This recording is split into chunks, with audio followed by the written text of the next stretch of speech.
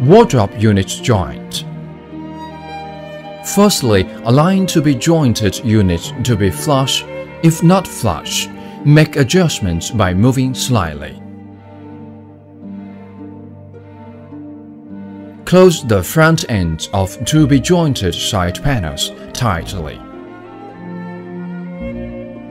Inside the carcass, using electric drill to bow two holes, about 3 mm at lower position. One hole near the front and one back.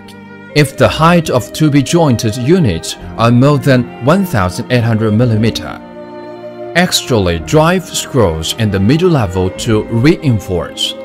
Now drive 430 mm self-driving screws or flathead screws through the pre-drilled hole to joint the two units tightly.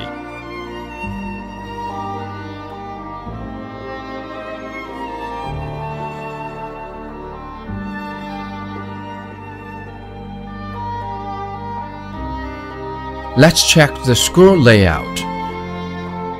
For sliding door wardrobe, respectively drive two screws in the lower, middle and upper level.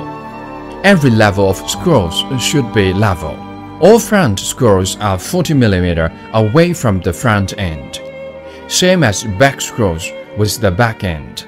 Also, the lower level of scrolls are 40 mm away from the bottom panel. The middle level of scrolls are 40 mm away from its upper shelf.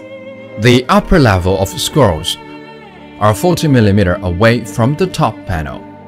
For side-hinged wardrobe, take door hinges as benchmarks.